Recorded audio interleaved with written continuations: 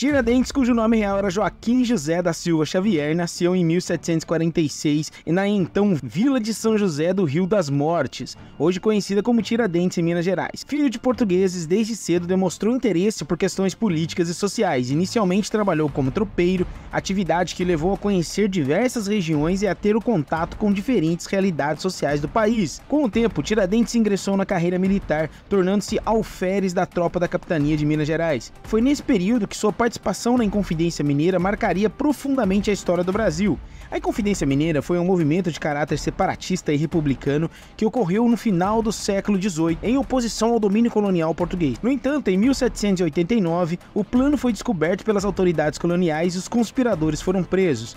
A história da traição da Inconfidência Mineira envolve Tiradentes e Silvério dos Reis.